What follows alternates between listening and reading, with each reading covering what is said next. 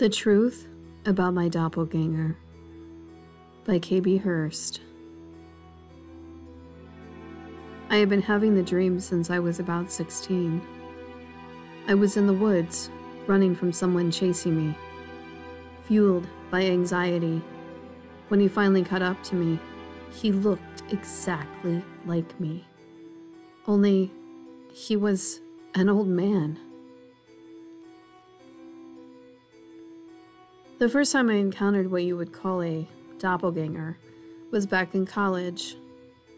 It was a seemingly innocent mistaken identity. I worked in the kitchen at our university to help pay for my tuition when, one afternoon, a guy came in asking me if I still had the yellow bug for sale. I corrected him, telling him I didn't even own a car. I was living on campus, so I didn't need one. I was too poor to buy one back then, and so I rode my motorcycle when I needed to go off campus. The guy seemed genuinely confused. uh, I just talked to you on Sunday in here, and you told me how bad the pizza was, and if you could sell your piece of junk Volkswagen, you could afford a decent pizza off campus. I smirked. I explained I didn't even work in the cafeteria on Sundays because I had basketball practice. He seemed confused, but eventually let it go. I didn't think anything more of it. Shit like that had been happening to me most of my life, since I was about 13. Only now, as a fully grown adult, did it become an issue. It became clear to me the morning I received a call for a job interview. I was so excited because this job will be twice my salary now if I got hired. The interview was at 8 the following morning. It seemed super early, but I was really prepared. I didn't sleep well. I had begun having the nightmares again recently since I was a teenager.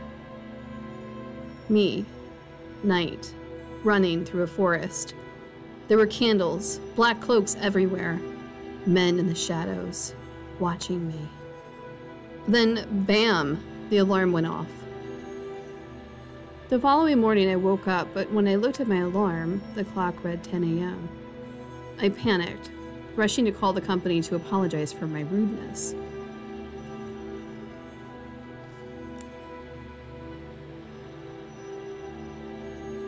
The woman on the other end of the phone laughed. I said I didn't understand what could be so funny. Then she proceeded to enlighten me. You were so great in the interview that Mr. Jennings told me to call your office and offer you the job. But uh, I didn't come to the interview. I think you must be mistaken. Oh, tall dark hair. You wear a blue shirt? She laughed again. I looked at the suit that I had hanging up. It was my blue suit with the blue shirt, my lucky suit. So Unless I blacked out and came home to sleep after, I had absolutely no recollection of this interview. Then she continued with her description. You have a slight scar over your left eyebrow that you joked about when we met. you also mentioned you had a cat named Johnny. Or was it Job? I had all of those things. I then played it off and told her I was interested in the job. She advised me to report the following Monday, and I was hired on the spot. And I had been hired on the spot earlier that morning. So, unless I had blacked out, someone who looked exactly like me and had everything of mine had done the interview and had gotten me the job. The following Monday came, and I thought that I'd get a notice that I had been punked when I arrived at my new position. Yet I entered the facility and was given a new badge, a lovely new cubicle fit with a plush ergonomic chair. I was astonished at how welcoming all the staff were at this company. I took my seat in the cubicle after a long meeting with the man who would be my new boss and took a deep breath. Whew, I made it. I kept thinking perhaps I was dreaming, but I knew when I took a sip of the perfect coffee that I was not dreaming.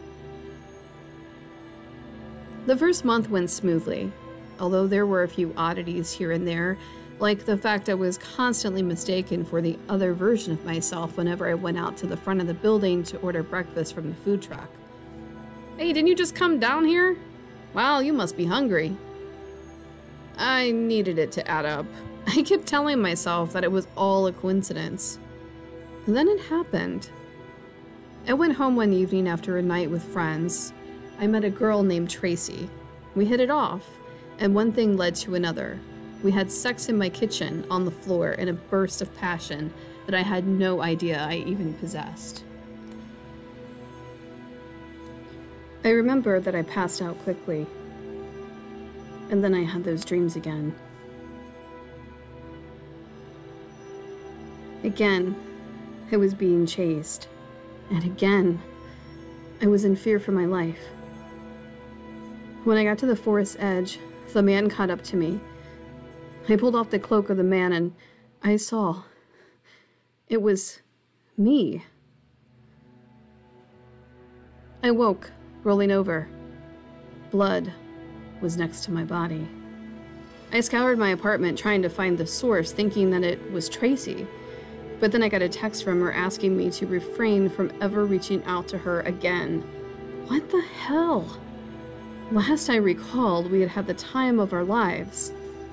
The blood was a bit off, though. I was hesitant to text her back, but I had to know. Why am I bleeding? I'm so sorry, but I have no recollection of last night. Seriously? She texted me back. Yes. Well, dude, you need to refrain from drinking so much. It was blood from punching your fist against the bed repeatedly. You seemed to think it was funny, so I left. Seriously, dude, get some help. I still didn't recall any of this. I did make it to work on time, and everyone began to cheer when I walked into the office. Again, I was completely confused as to what the hell was going on. Hey, what's all this about? I asked, genuinely confused. How do you not remember that dude at the bar last night? My coworker Jake asked. He then began to explain the prior night's shenanigans to me. He kept telling you to stop pretending to be him. I figured it was like your twin brother or something. You know, you guys looked alike, but he had this beard, and then you began to attack him. we were all amazed at how easily you just took the guy. Then you got that hot chick to go home with you. So, how was that anyway? Jake asked, patting me on the back. I gotta say, man, I don't remember most of the stuff from last night. Oh, right on. Hey, we all have those nights, right? He laughed. I figured I had drunk too much. Yet, the fact that I apparently went apeshit on some guy kind of gave me the creeps, especially after everything that had happened to me. I finished my day with no incident and went straight home. When I got inside my apartment, I realized it was a mess. Someone had broken inside my apartment. I was about to call the cops when I saw a shadowy figure holding a knife in my kitchen. You, the man, said. Who are you? I asked. I'm you. Or should I say, you're me. You're an impostor. I looked at the shadow as I couldn't make out his face. I looked at the man, but he would not come out of the shadows. You're trying to ruin my life. It's my fault. I just kept wishing I was a better version of myself. Dude, what the hell are you talking about? No, of course you don't know. How could you? You were only. Oh, you're only maybe a decade old. I did it. That ritual. When we were kids, we all gathered in the woods using some book on black magic. We evoked you into reality. I wanted to take over. I wanted you to take over my body. You know, something had to take over me, make me better. I wanted to be someone I'm not. So, I did this fucking spell to reinvent myself. Only, it backfired. You've been slowly taking over my life since. Thanksgivings, Christmases, girls, and jobs. I looked at him, trying to understand. There's only one way out of this. Only one of us can live. I backed away from the crazy man, and then he entered the living room where I stood. I turned on the light, and there in front of me was a thinner, paler, dirtier version of myself. I didn't know what to think. This guy who looked exactly like me, he'd been through hell. You could see it on his face. That's how I knew it was me. Or him. Suddenly, flashes of memory began to surface. I recalled crawling under the ground the night of the ritual.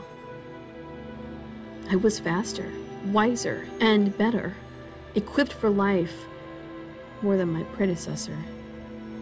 I was the better version of him. No, of me.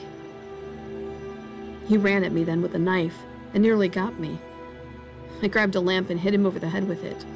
But before I knew it, the wiry man was on top of me with the knife inches from my face.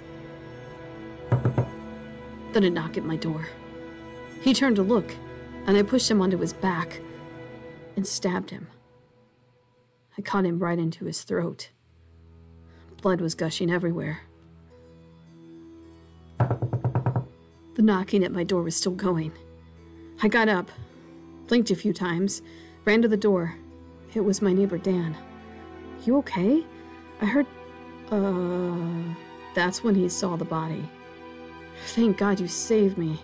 The knocking caused this maniac to turn away long enough for me to defend myself. My neighbor Dan helped me call the police, as I was in a bit of shock. The cops came and took the man away. They saw the evidence of the struggle and the broken window, which was how he got into my apartment. I wasn't charged with anything. It was basically a clear case of self defense. The following day, a considerable concern had been lifted. No more did I have to worry about this doppelganger. The truth was, I was the doppelganger, and I had now successfully taken over the life of my look-alike. No more would I be unsure of myself, have worries, anxiety. No, I was the better version of me.